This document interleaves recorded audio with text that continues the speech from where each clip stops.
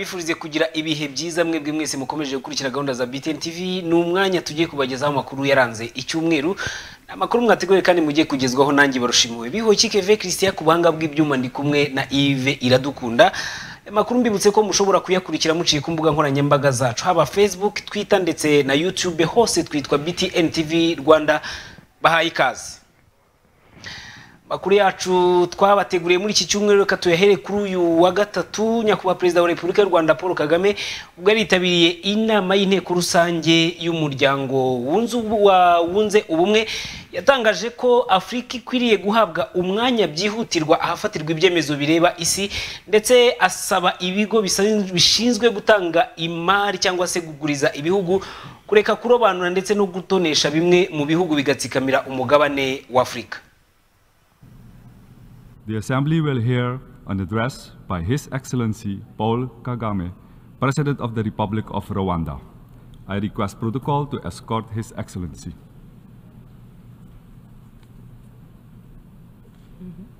On behalf of the General Assembly, I have the honor to welcome His Excellency Paul Kagame, President of the Republic of Rwanda, and to invite him to address the Assembly.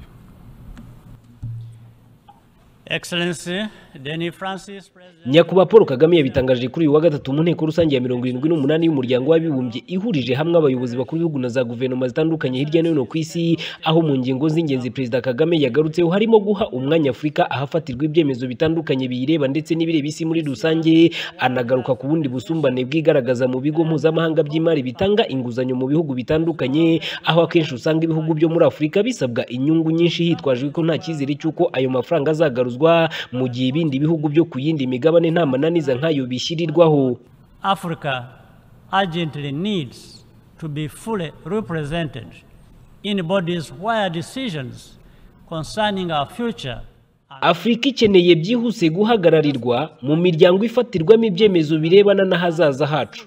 Nayo kandi igomba kuba yiteguye kuvuga mu ijwi rimwe. Ibihugu biri mu nzira y'amajyambere bihanganye n'inyungu nini ku nguzanyo mu buryo budasobanutse. Dukeneye ubufatanye bwuzuye mu gukemura iki kibazo. Natwe mu bihugu bikiri mu nzira y'amajyambere dufite inshingano zo kubazwa uburyo ducunga umutungo wacu. For the quality of our financial governance.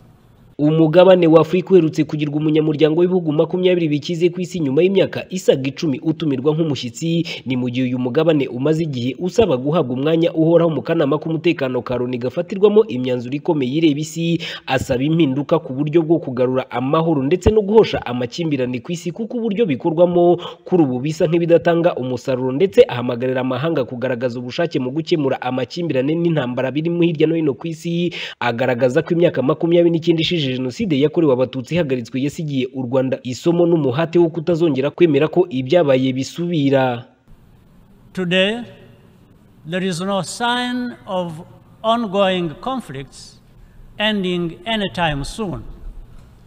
We do not even see hope from those with the most kugeza ubu nta kimenyetso cy'uko amakimbirane ariho ashobora kurangira mu gihe cya vuba nta n'icyizere kiva mu bantu bavuga ari kumvikana cy'uko ayo makimbirane ashobora kurangira. Inzirakarengane zizakomeza kwihorera uwo mutwaro wo kuba mu makimbirane ibi ni akarengane gakabije. U rwanda isoko y'ubufatanye bwacu ituruka ku muhigo twihayeho kutazongera na rimwe kwemera gusubira kw'amahano yatubayeho mu myaka hafi mirongo itatu ishize. Turashimira abadufashije muri uru rugendo bose mu gihe twitegura kwibuka imyaka mirongo itatu ishize jenoside yakorewe abatutsi ibaye to commemorate the genocide against the Tutsi for the 30th time in April 2024. Mu nama kandi yateguwe n'abarimo minisitiri w'intebe wa Espagne Pedro Sanchez ndetse n'umuyobozi wa komisiyo y'umuryango w'ubumwe bw'uburayi Charles Michel hamwe na minisitiri w'ububanyi n'amahanga w'ubufaransa Catherine Colonna perezida Paul Kagame yatangaje ko igihe kigeze ngo ibigo by'imari mpuzamahanga bivugurure imikorere bihagarike gusumbanya abakiriya babyo ndetse no gutsikamira ibihugu byo ku mugabane wa Afurika ibarushimuwe biwukike ve Christian BTN TV i Kigali.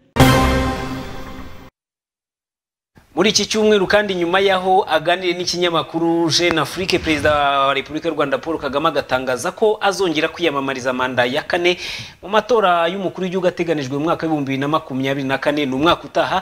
Bamwe mu baturage baganiriye na BTN TV batangaje ko bakurikije aho igihugu cyavuye n'aho kigeze bigaragaza imbaraga n'umuhate perezida wa Repubulika y'u Rwanda Paul Kagame yakoresheje bityo biteguye kuzamuhundagazaho amajwi. Janvier Kamanzi yaganiriye n'aba baturage. Ijana ku ijana riri ijana ku ijana turamushyigikiye cyane. N'indi manda n'indi n'indi n'indi zikagenda zikurikirana. Kugeza igihe azasazira yagombye kutuyobora mu buzima bwose bubaho. Mu kiganiro umukuru w'igihugu nyakubahwa paul kagame yagiranye na televiziyo y'abafaransa jeune afrique ubwo yari abajijwe niba kuba yarongeye gutorerwa kuyobora umuryango wa fpr inkotanyi n'amajwi mirongo icyenda n'icyenda n'ibice umunani ku ijana bidashimangira ko azongera guhagarara uyu muryango wo mu matora y'umukuru w'igihugu. Mu gisubizo cye yagize ati nshimishwa n'icyizere abanyarwanda bangaragarije. Nzabakorera mu gihe cyose nzaba mbishoboye. Yego ndi umukandida. Bamwe mu baturage mu bice bitandukanye by'igihugu nyuma yo kumva ibyo umukuru w'igihugu yasubije bagaragaza imbamutima zabo. Bemeza ko nabo bazamutora ijana ku ijana. Dusubiye inyuma mu myaka yahise yenda nanjye reka mvuge nko muri gatanu na karindwi gutyo reka mperaho. Wenda nari umuntu umaze kuba amacuwa iki gihugu najyaga mbona uko kimeze. Tekereza rero umuntu umwe na wenda n'abandi afatanyije nabo kuba yaragiye akora ibikorwa ndakeka mu gihugu cyacu turaba tuzi ko twabaga mu nzu za nyakatsi. Izo nzu turazizi bamwe bamwe turabizi ko twagendaga nta nkweto twambaye imibereho twe dufite turayizi. Rero kuba yaravuze ati reka mpindure aba bantu n'igihugu bose hamwe kikaba kigeze ahangaha tubona ukuntu kimeze. Umutekano ari wose n'ibindi bikorwa uko biri yarakoze. Nta muntu wakumva avuze ngo agiye kwiyamamariza indi mpanda avuge ati hoya. N'indi twamutora n'indi yaza twamutora igihe akiri muzima rwose uriya ni umubyeyi nta muntu wavuga ati ntatorwe. Ahubwo n'utamutora sinzi ikintu yaba atekereza muri we. Uriya ni umubyeyi rwose wo gutorwa n'indi manda zose tuzamutora twabyakiriye twishimye cyane kuko ni umubyeyi atugeza ku iterambere urebye aho igihugu cyavuye n'aho kigeze ubu ngubu umunyarwanda wese ashishikajwe no kwiteza imbere nk'uko imvugo ye ibidushishikariza buri munsi ko dukwiye gukora tugakura mu maboko mu mifuka buri munyarwanda wese akigira. Iyo urebye nk'iri terambere imihanda ukareba uburyo umujyi wubatse ukareba uburyo nko mu cyaro baba badushishikariza korora bya kijyambere. Ibi ni ibikorwa byinshi bigaragara by'iterambere umusaza yatugejejeho. Twarabyakiriye neza twishimye twabihaye amashyi n'impundu kubera yuko umubyeyi wacu atuyoboye neza kandi yatugejeje ku iterambere rikomeye kandi akomeje kutugezaho n'ibyiza byinshi turamwishimiye cyane. Ubwanjye n'andi umutindi wundi uhingira abandi noneho ubu ngende ku rwego rwo kujya kurangura i kigali ubwo muri makeya ubwo yanzamuye kuri urwo rugero ndabyishimira cyane kubera ko yanzamuye amvanye hasi akanzamura ku rwego rwo hejuru. Icya mbere muri makeya yampaye gira inka amaze kumpagira inka noneho iyo nka ndayibyaza niyo yanzamuye kugeza kuri uru rugero naba ngezeho rwo kuja kurangura i kigali. Bakomeza bagaragaza ko imwe mu myanzuro agiye afata mu bihe bitandukanye kandi ikanatanga umusaruro ari nka kimwe mu gituma batazamutenguha. Mu gihe cya kera higaga umuntu ushoboye ufite wabo bafite ubushobozi bwo kuba bamushyira mu ishuri. Iki gihe nta muntu n'umwe uhejwe kugira ute kuba yajya mu ishuri akiga. Ibyo ni ibintu bibiri yabashije gukora.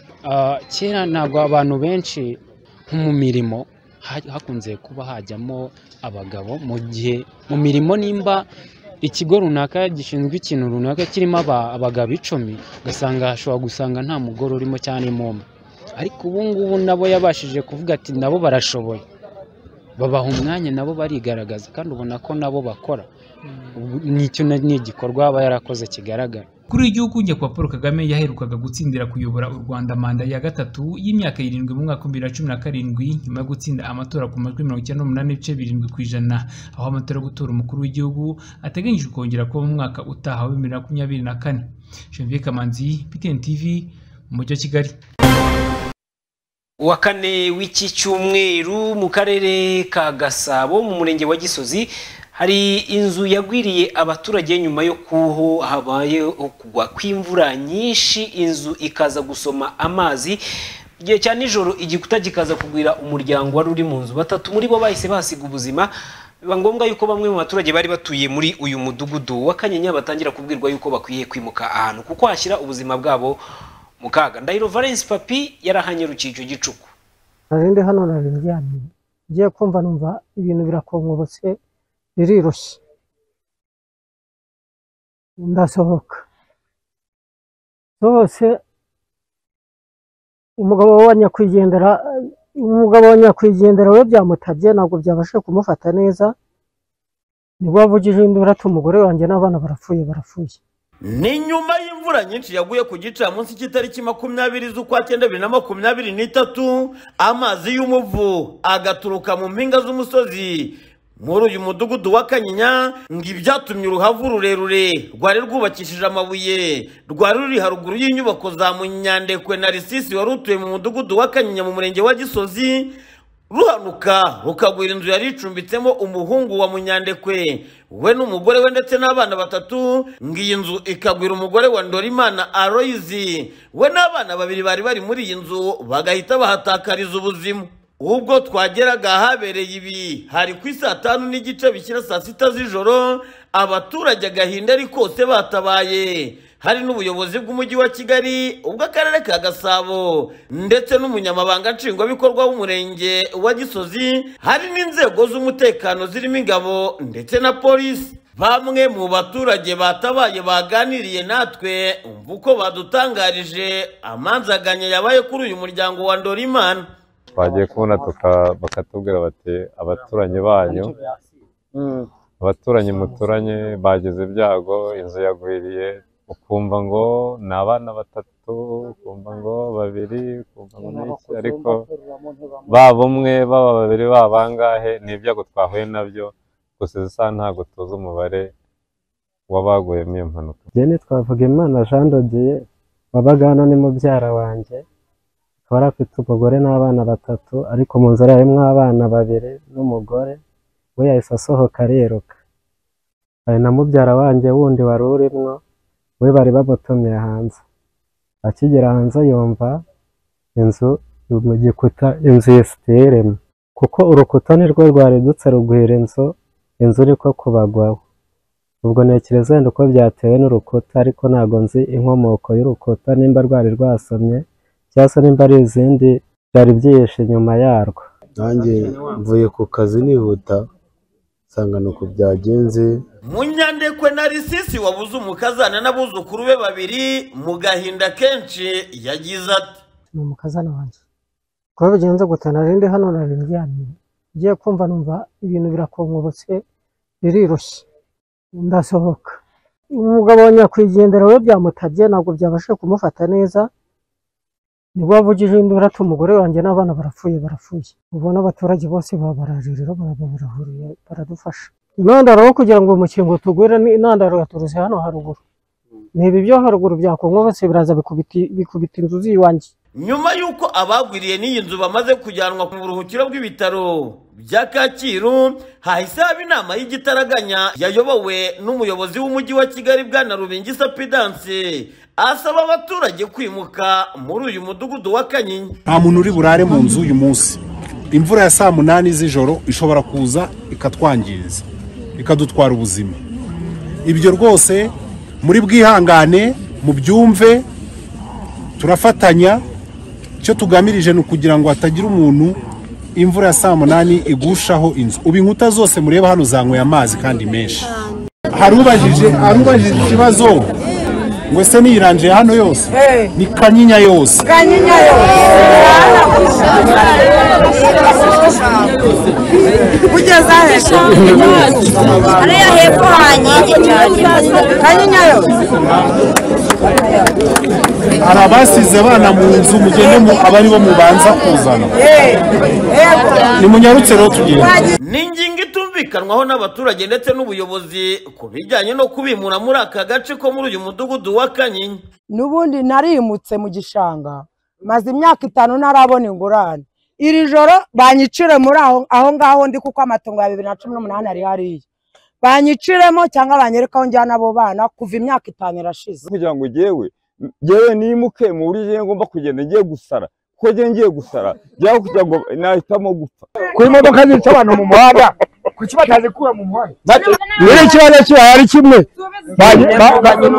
Aha kandi abaturage batunze agatoki umushoramari witwa jorome wahagiye akahasiza uruhavu rw'amabuye ngo agafunga inzira z'amazi byo bifatwa nk'intandaro yo gushyira ubuzima bw'abaturage mu kaga. Namwe muharebye n'uko hameze nta kibazo nta kibazo gihari ariko ikibazo twa- twabonye n'amazi nyine asa n'aho amanukamo aho ngaho aho hagati bishoboka ko ayo mazi nyine byaba bifitanye isano. Baba baramuyoboyeho. Ku kibazo cy'abaturage bashobora gutuma abandi bashyirwa mu manegeka cyangwa se bagasenyerwa n'ibiza umuyobozi w'umujyi wa kigali yagize ati dukomeza ubukangurambaga ndetse ni n'uburyo bwo kubaka mu mujyi wa kigali ko umuntu wese wubatse agomba guteganya inzira z'amazi ava iwe ariko akaba yanayafata. Ubukangurambaga dukora mu kwibutsa abantu ni ugufata amazi ava ku nzu yawe ashoboka yose. Eh, ari ugushaka ibigega cyangwa se gucukura eh, icyobo bashobora kujyamo. Eh, ariko n'ababikora nkana cyangwa se babereka ibyo gukosora ntibabikosore aho ngaho hakora n'amategeko n'icyo ubuyobozi bubereyeho ubuyobozi bw'umurenge bwarabimenyeshejwe kandi hagomba kugira igikorwa bidatinze. Kuri ubu abaturage batuye muri uyu mudugudu wa kanyinya bahawe igihe kingana n'amasaha makumyabiri n'ane ko bamaze kwimuka. Mu mazu bari basanzwe batuyemo bagashaka ahandi bakwerekeza imiryango yabo. Hadashobora gushyira ubuzima bwabo mu kaga. Btn tv mu murenge wa gisozi wo mu karere ka gasabo mu mujyi wa kigali ndindahiro valensi papi bukeye bwaho bw'iri sanganya ba uko ari batatu bashyinguye mu irimbi rya nyamirambo. Umuhango wari witabiriwe n'abayobozi batandukanye mu nzego z'akarere ka gasabo ndetse n'umujyi wa kigali. Ndahiro valence papi naho yarahageze. Ku gicamunsi cyo kuri uyu wa gatanu tariki makumyabiri n'ebyiri z'ukwa cyenda bibiri na makumyabiri n'ibiri ni bwo habayeho umuhango wo guherekeza abitabye imana bo mu muryango wa ndorimana aroyizi aho bashyinguwe mu irimbi rya nyamirambo. Amarira n'agahinda byari byose ku nshuti n'abavandimwe ndetse n'abatabaye uyu muryango harimo inzego z'umutekano zirimo polisi ingabo ndetse n'abayobozi mu nzego bwite za leta. Bamwe mu batabaye uyu muryango bavuganye natwe. Bashimiye inzego z'ubuyobozi zaje kubafata mu mugongo ndetse n'uyu muryango kuri ubu. Ababashije kurokoka bakaba baramaze gukodesherezwa mu murenge wa kimironko. Dore umwana wa kane kuri njyewe eh, yari umuntu twabanye mu buzima busanzwe yari umuntu mu buzima bw'ubana n'abantu gusabana n'abantu gusura abantu. Byari umwihariko ubona ko yari akunze abantu. Ntabwo twabyakiriye neza kuko gusa nta uterwa yiteguye. Bigaragara ko iriya ni inkangu yaje igwira inzu ni ibintu byatunguranye cyane. Ubuyobozi turabushimira by'umwihariko cyane ko bwatubaye hafi kuva ibyo bitangiye kugera kuri uyu munsi wa none kugera aho umutware wa Leonamahoro akeye yari atuye bamuvanye aho yari ari bamujyanye heza atakongera kongera kuba iyo nkangu nk'iyabaye twabonye. Nyina yamusize muhorakeye afite umwaka umwe. Arapfa. Ndamurera. Maze kumurera arakura. Kugeza ubwo agize gutya yibyariye akana arakasigira ajya gushaka wese ubwo hagati y'aho muhorakeye ibigwi bye ni birebire. Ntabwo yigeze akura ngo avuge ngo nta mama mfite nta data mfite. Yabyaraga nkamuhemba yaje kunsaba. N'ubu nari namuhaye gahunda yo kuvuga ngo ndamukopye muzajye ku rukiko n'umugabo wawe kubera mubanye neza. Ashimira leta ntabwo itagize bampamagara nanjye nkababwira nti mwiyambaze inzego z'ubuyobozi. N'abaturage nabo ndabashimira umuyobozi nshingwabikorwa w'akarere ka gasabo umwari pauline yagize icyo atangaza muri uyu muhango wo guherekeza uyu mugore ndetse n'abana be babiri. Nubwo haba habaye urupfu rukomotse ku kintu tutateganyaga tunabona n'ubundi kitakagombye Ah, nagira ngo rero nongeye mbihanganishe mbakomeze kandi mbabwira ko tu- turi kumwe nk'uyu muryango umuryango wa royizi turi kumwe muri iyi minsi eh, turakomeza dufatanye ibiri ngombwa bishoboka turakomeza tubabane namwe tubabe hafi kandi mbasaba gukomeza kwihangana nk'ubuyobozi turahari icyo mwadukeneraho cyose mutubwire ntimugire ikibazo ah, ubuyobozi bwaboneyeho gushishikariza abaturage batuye mu duce dufatwa nk'amanegeka ko bagomba guhita bimuka bwangu ngo mu gihe ikirere gifite imvura nyinshi. Bityo ubuzima bwabo ntibuzongere kuba bwajya mu kaga. BTN TV mu muhango wo gushyingura abo mu muryango wa Ndorimana Royizi Ndindahiro Valence Papi. Reka tunyarukire mu karere ka rubavu mu ntara y'uburengerazuba bw'u rwanda mu murenge wa rugerero mu kagari ka kabirizi. Hari umwana witwa uwimbabazi peni n'utabaza inzego zitandukanye kugira ngo abe yafashwa ajye kwiga. Ni nyuma y'aho uyu munyeshuri atsinze ikizamini cya leta ariko amanota agasohoka ise na nyina baramaze gutandukanywa n'inkiko. Ndetse urukiko rugategeka ise kuzajya atanga amafaranga y'ishuri y'abana. Peni navuga ko yagiye kureba ise kugira ngo amwishyure minerivare amubwira ko inda yamubyaye irutwa n'iyavuyemo jacques twishime uwo mukobwa w'imbabazi peni utuye mu mudugudu w'amahoro akagari ka kabirizi umurenge wa rugerero w'akarere ka rubavu arasaba inzego z'ubuyobozi ko ngo zamufasha akabona ko yajya kwiga. Nyuma yaho se atandukanye na nyina urukiko rugategeka ko yazajya yishyura amafaranga y'ishuri ngo yajya kuyamwaka akamwirukana mu rugo ngo amubwira ko inda yamubyaye. Urutwe n'iyavuyemo nagiye kumureba. Ndamubwira se papa ko ishuri ryatangiye nta kintu wamfasha. Arangije aranyirukana. Anyirukanye yanyirukanye ari nka saa moya n'igice za nijoro. Kandi ahantu atuye hateye ubwoba.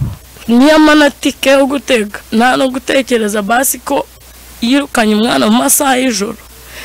Aho hasi ubu nta nubwo yatekereza ko nagera imbere bakangirira nabi. Se yamusohoye nabi nijoro amuta hanze y'igipangu arakinga arangije aramubwira ngo nashaka apfire mu nzira. Ngo byanamunezeza byumvise. Ubundi ukuntu mubona papa? Yanga umuntu umubaza amafaranga. Waba umwana we utarwaye nta kibazo na kimwe cy'amafaranga ufite nyine murabana gutyo nk'umwana na papa. Ariko ukeneye amafaranga icyo gihe ntabwo ukiri umwana we rwose. Akomeza avuga ko ngo igihe cyose yagerageje gusaba se amafaranga y'ishuri ngo yayamwimye yabwiraga papa wanjye kunyishyurira gusa yambwiraga amagambo mabi akambabaza. Bwa mbere nigeze kumubwira ati se papa ko ishuri rifunguye? Wanyohereje amafaranga cyangwa ukajya kungurira ibikoresho.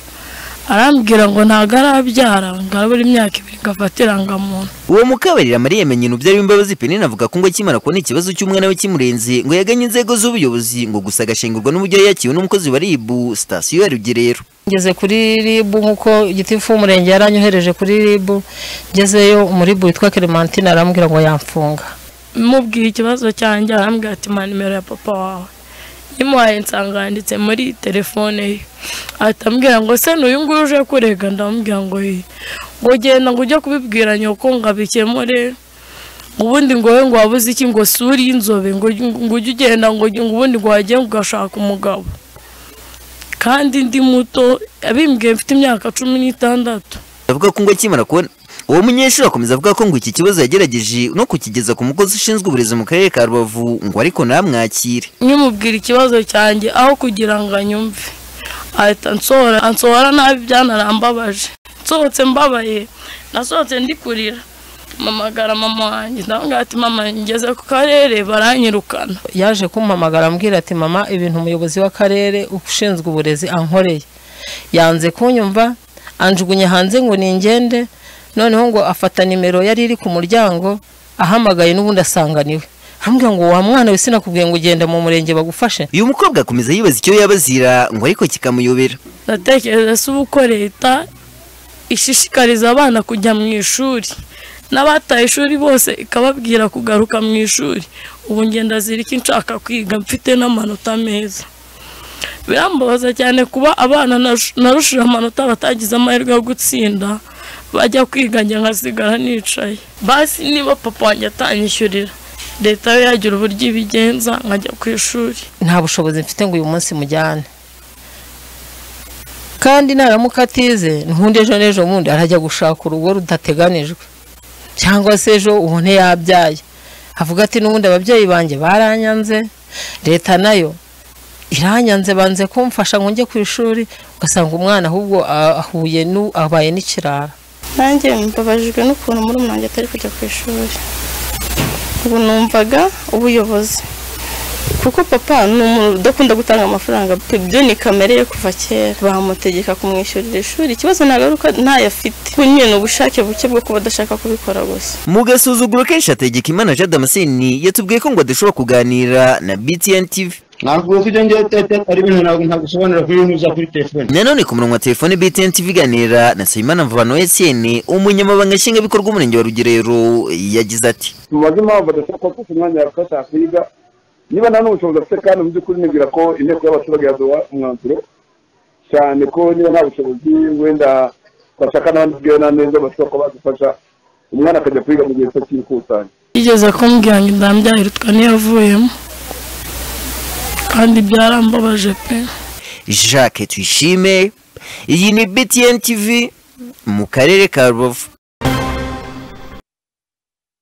Reka tuve mu karere ka rubavu tugaruke hano mu mujyi wa kigali. Kuwa kane w'iki cyumweru kazungu denisi ukurikiranyweho cyaha cyo kuba akekwaho kwica abantu cumi na bane ndetse n'ibindi byaha bishamikiye. Kuri cyo yagejejwe imbere y'urukiko rw'ibanze rwa kagarama yumvikanye yemera ibyaha aregwa abajije n'umucamanza impamvu yabikoze avuga ko yabitewe n'uko yandujwe sida amakuru ribu yahakanye ikavuga ko ari ikinyoma kuko kazungu yapimishijwe agasangwa nta sida yanduye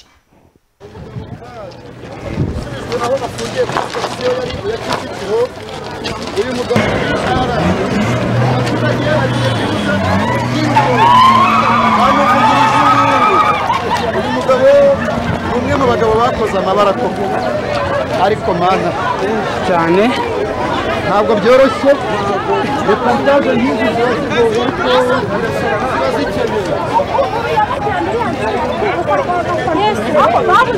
kazungu denisi wagejwe mu rukiko rw'ibanze rwa kagarama ahagana ku isa tatu n'igice za mu gitondo akigiye imbere y'umucamanza yamanitse ukuboko asaba ko urubanza rwe rwabera mu muhezo atanga impamvu z'uko ibyaha yakoze bikomeye kandi hari ibintu bikomeye ashaka kuvuga no ku bijyanye n'amabanga y'uburyo yicaga aba bantu cumi na bane yiyemerera ngo kuko ayo mabanga aramutse agiye hanze mu itangazamakuru bagenzi be bayashobora kuyakoresha. Kuko ha- hari ibyaha nakoze bikomeye biri buvuge ntashaka bijya kuri ibitangazamakuru cyangwa se kuyobora inzira bamwe bagenzi banjye uburyo bwo kubikoramo.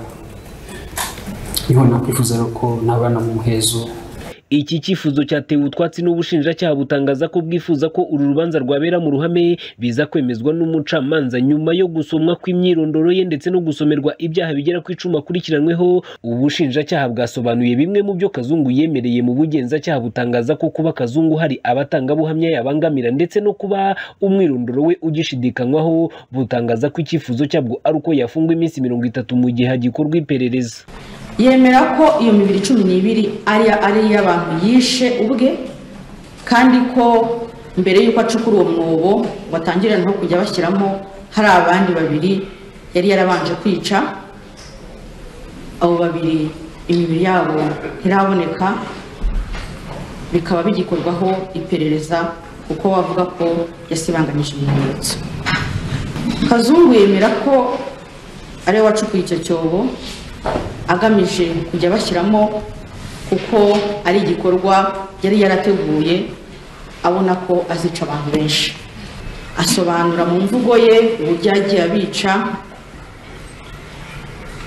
akabica abatunguye ko yabaga yagejeje mu rugo eh, ababeshya ko mu buryo butandukanye. Yabageza mu rugo akabica mu buryo bubatunguye ku buryo batabasha kwirwanaho. Mu bo kazungu yemera ko yishe hari amazina avuga ko yibuka. Kuko avuga ko bose ata- atabibuka ariko mu bo yibuka avuga ko harimo uwitwa Eric Turatsinze akavuga ko amwibuka kuko yamusigaraniye ibyangombwa akajya umwirondoro we awiyitirira avuga ko yishe uwitwa Eliane Mbabazi n'uwitwa Clementine n'undi witwa Françoise. Abo ni bo avuga ko yibuka avuga ko icyo gihe yasobanuraga ko uko azagenda yibuka ariko azagenda atanga amakuru y'umwirondoro we yishe kandi usibye n'ibyo kazungu hari inzugi ze z'inzu yari yaragiye akuramo. Tukaba rero eh, twasabaga yuko kuri ibyo byose kugira ngo tubashe kunoza iperereza dosiye noneho tuyiregere urukiko murakoze.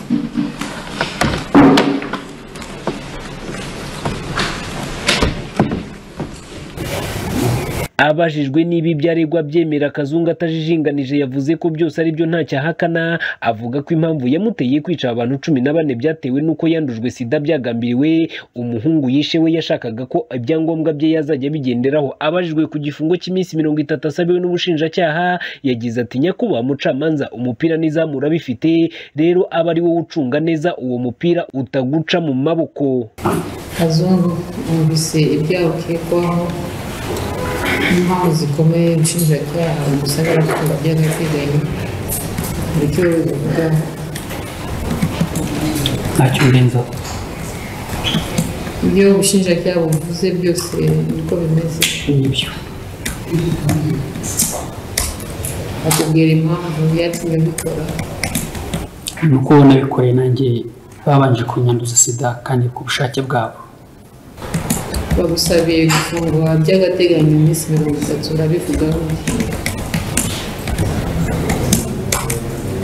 Urumva ibyaha nakoze ntabwo ari icyaha ki- kiri aho ngaho cyoroheje gutyo gusa cyo gukina na cyo cyo washyira mu kibuga ugakina na cyo umupira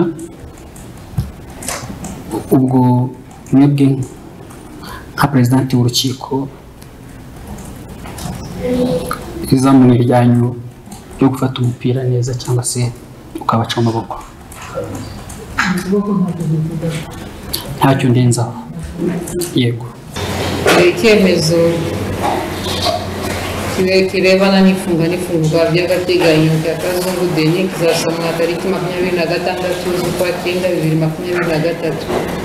Saa cyenda. Umubyeyi wa turatsinze Eric umusore w'imyaka makumyabiri n'itatu y'amavuko warerwaga na nyirarume akaba ari we musore rukumbi muri cumi na bane bishwe na kazungu kuko abandi bari igitsina gore yari yaje ku rukiko. Atungurwa no kubona kazungu amaso ku maso ananirwa kubyakira. Kazungu uramemukira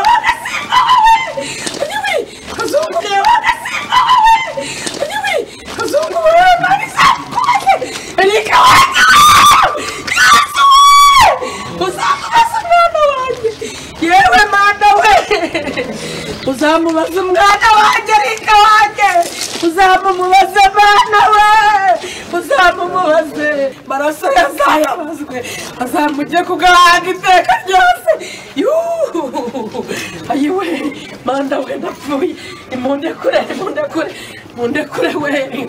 Imundekure imundekure mundekire mundekure imundekure ndabinginze ayiwe ayiwe ayiwe ayiwe ayiwe ayiwe ayiwe mana we.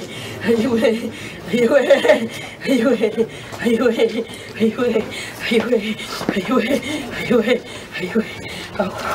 mu iperereza ry'ibanze byagaragaye ko hari abantu bamwe kazungu yagiye yica ariko yabanje kubakoresha inyandiko zivuga ko bamuhaye ibikoresho batunze ndetse n'imitungo irimo amasambu iyo ibi byagaragaraga yarabicaga ubundi akabajugunya mu mwobo yari yaracukuye mu gikoni. Ibi byaha kazungu akurikiranyweho aramutse abihamijwe n'urukiko akaba yahanishwa igifungo cy'aburu burundu reka tunyarukire mu karere ka ruhango mu ntara y'amajyepfo y'u rwanda. Hari umubyeyi witwa uh, anastasi uvuga ko abangamiwe wavugaga yuko abangamiwe n'ikibazo cy'umugabo we umuhohotera. Ndetse yaratabazaga. Gusa uyu mubyeyi yavugaga ko bibaye byiza yafashwa na ribu ikibazo kikaba cyakurikiranwa. Ndetse we n'umwana we bakavuga ko igisigaye ari ukwicwa nyuma yo gutotezwa no gukorerwa iyicarubozo n'umugabo we. Kuri uyu mubyeyi mu kanya gatoya nyuma y'inkuru turaza kuvugana na mugenzi wacu samusoni nyuma y'aho inkuru tuyikoze ku wa gatatu yishwe kuri uyu wa gatandatu. Yaje kuboneka yapfuye. Reka dukurikire inkuru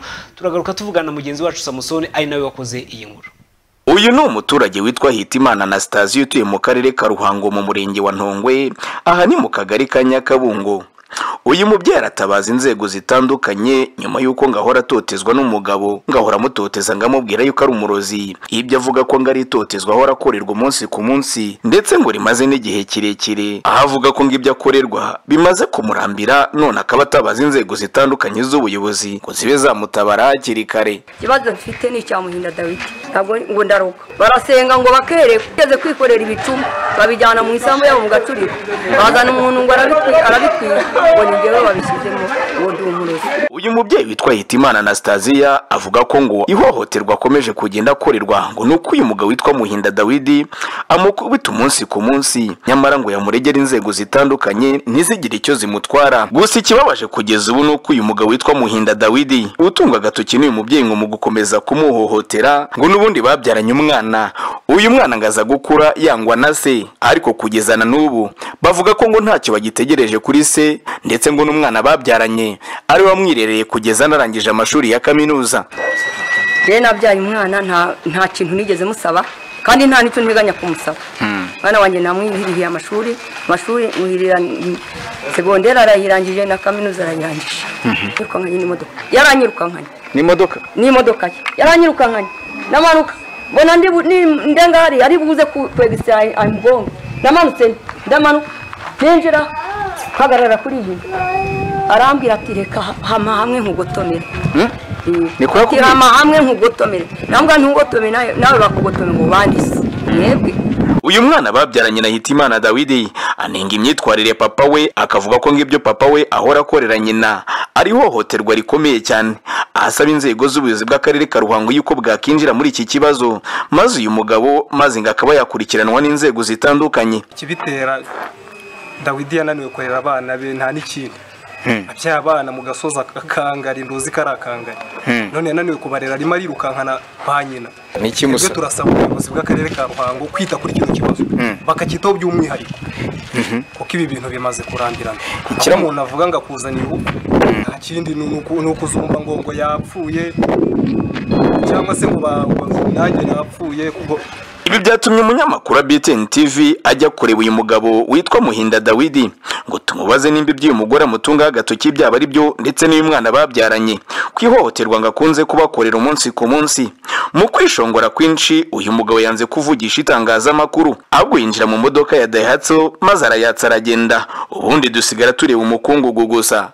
Haba Hitimana Anastasia ndetse n'umwana we barifuza ko nk'ubuyobozi bw'akarere ka Ruhango bwakinjira mu kibazo cyabo maze ngo bagahosha aya makimbirane hakiri kare. Ribu ndayisaba ko indenganura. Yanyemereye ko izaza kundenganura ndayitegereje ariko icyo nsaba ndasaba yuko ngomba kubona uburenganzira bwanjye nkareka gutotezwa na dawidi. Uvuga ngo basenze ngo wabonye ko nagiye kubarwa Nahayo Jean Marie Vianney ni umunyamabanga nshingwabikorwa w'umurenge wa Ntongwe gusa ariko avuga ko ngo iki kibazo bagiye kukinjiramo nk'urwego rw'ubuyobozi maze ngo bagishakire umuti hakiri kare. Umudamu yigeze kuza kutubwira ko dawidi yamutse amwita ko yamuroze hanyuma dawidi nawe turamwegera tumubaza nimba eh, koko ibyo yabikoze abiduhakanira. Ariko ni abantu ba- abantu b'abavandimwe basanzwe baturanye mu miryango twari twiyemeje ko dushaka abantu b'abavandimwe bandi badufasha kuba babahuza baka- bakareka amakimbirane adafite ashingiye. Dufite abavandimwe babo bashobora kudufasha kuba- kubaba hafi dufite n'aho basengera basengera ahantu hamwe mu idini rimwe na pasiteri wabo yanyemereye ko tuza- tuzafatanya kugira ngo tugikemure. Urwego rw'ubuyobozi ubundi ntabwo twemera amakimbirane aho ava akagera eh, ubwo nk'uko tusanzwe tubigenza ku ku yindi miryango ibanye nabi turabegera tubigishe akamaro ko kubana neza mu miryango. Si uyu mugore wenyine muri aka gace ngo ukunze guhohoterwa n'uyu mugabo witwa muhinda dawidi bitewe n'uko ngo yitwaza yuko ngo ari umujejetafaranga muri aka gace ngo ugerageje kuvuga arakubitwa ariko ngo yajya kurega ntibigire icyo bimara. Hirya no hino hakunze kumvikana amakimbirane nk'aya ashingiye ku marozi rimwe na rimwe inzego z'ubuyobozi zidakemuye amakimbirane hakiri kare akunze guteza ibibazo bya hato na hato bikunze kuvamo n'impfu zitunguranye. Iyi. Ni BTN TV njye ndi mahoro samusoni ahandi ndi mu karere ka ruhango ndi mu murenge wa mbuye. Ndahazwi nko mu kagari ka nyakabungo. Ndi mu ntara y'amajyepfo igihe tukigerageza kuvugana na mugenzi wacu mahoro samusoni witabiriye umuhango wo gushyingura anastasi kuri iki cyumweru wishwe atemwe ku munsi w'ejo ku wa gatandatu kugira ngo atubwire byinshi kuri iyi nkuru.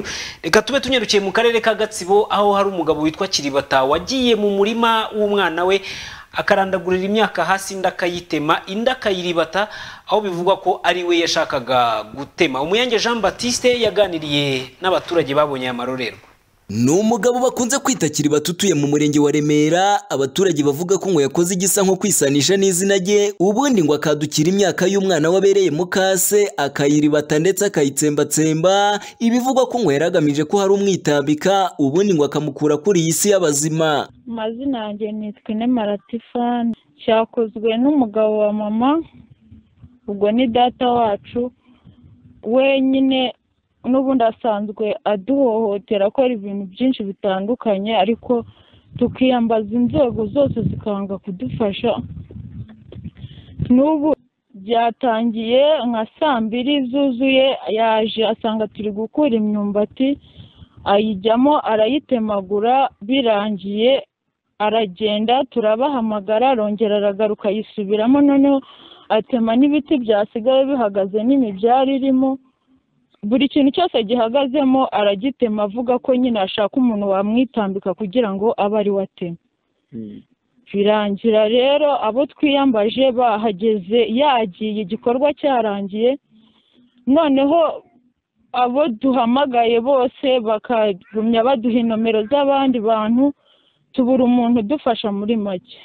Niko kwiyambaza nk'amwe abanyamakuru kugira ngo mudufashe. Bamwe mu baturage babonye ibi bavuga ko ngo uyu mugabo witwa kiribata asanzwe yarigize akaraha kajya he bityo bagasaba ko kuri ibi bikorwa akunze kugaragaramo by'urugomo akwiye kubikurikiranwaho ndetse akabihanirwa. Ureba ibintu yakoze rwose ibi ni agatekerezo mu gihugu mu mudugudu. Ntabwo ibi byigeze bibi n'ahangaha mutabara ahubwo ubuyobozi muhamagare no ku karere hose bafunge gasiya bafunga imbwa ntizagaruke. Ibi ni ugusongesha abantu. Reba iyi myumba turebe iyi mibyari ibi bitoki byari biriho ubu ntabwo dupfuye ntabwo muri ko hari inzara. Imvura iraguye nk'ayo yaretse ngo tubeho ahubwo aratwishe birashize. Ubu si uragira ngo twongereho iki koko? Ibi ni ibintu. Ejo bundi ejo bundi ejo bundi mu mureke ishyano rigende ryongere rigaruke. Pana mukureho ubusere bugende. Ibi bintu yakoze ntabwo ari umuntu umwe yishe. Yishe twese. Ni imbaga ya leta yarimbuyeho nibura iyo akora kimwe agatema imibyare ntateme biriya bintu byari birambitse hariya. Kandi nabimubwiye ntibi bintu bizagukenya. Nabimubwiye ntibi bintu bizamukenya. Biragoye. Uyu muturage ibibazo byabo ni birebire ariko bafitanye amakimbirane maremare maremare cyane n'inzego zirabizi. Ariko rero iyo bigeze aho umuntu afata ishyamba ry'imyumbati agatema barimo bayikura akayicogacoga ashaka umuntu wo gutema agafata imibyara agatema agafata ibiti byarimo agatema. Twebwe ubwacu biba byatugoye nuko ahubwo uwo muntu mwakabaye badufasha nk'inzego bakamufata bakamushyira mu ngororamuco nibura bakamwereka ko ibyo yakoze atari byo. Icyifuzo ni uko yashyikiriza inzego zibishinzwe akabiryozwa akabihanira kuko n'ubu ngubu ahari arimo araritse aravuga ko n'ubundi ari bwisasire umuntu. Ahari n'aho arimo kugenda atembera. Aravuga ko n'ubundi adashije umuzinya n'ubundi ko ari gukora ibindi bintu bibi.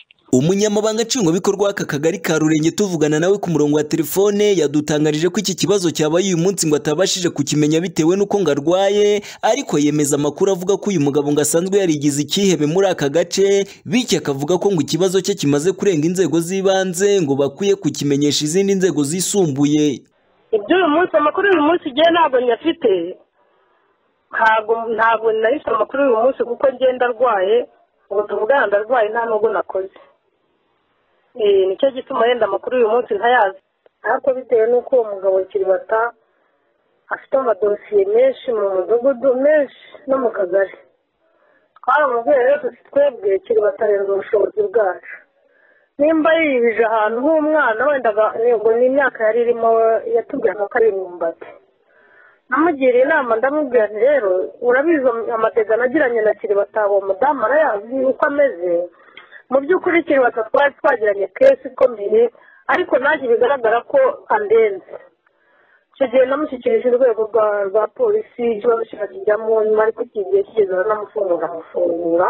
Dushobora ku- ku- kuvugana n'ubuyobozi bwa nyagakombe bagakora uburinzi kuri urwo rugo rwe kugira ngo kiribata atamutera nimba yarageretseho no kumusanga mu rugo simbizi. Abaturage bakomeza kwibaza impamvu uyu mugabo akomeza kwigira intakoreka nyamara ngo inzego z'ubuyobozi zimurebera ndetse zizi n'imiterere y'ibibazo ateza muri aka gace bikabayobera dore ko ngo atari n'ubwa mbere agaragaye yangiza imyaka y'abaturage ndetse ngo akaba asanzwe agaragara mu bikorwa by'urugomo birimo no kwica amatungo y'abaturage bikarangiriraho bityo bagasaba inzego z'ubuyobozi kuba bahagurukira iki kibazo ndetse ngo bakanishinganisha dore ko ngo uyu mugabo akunda kwigamba ko azica umuntu ibituma abatuye muri aka gace bakomeza kugira ubwoba ndetse n'impungenge dore ko nubwo twatunganyaga iyi nkuru uyu mugabo amakuru twari dufite ari uko ngo yari akiri kwidedembya. Umuyange jean batiste btn tv mu karere ka gatsibo.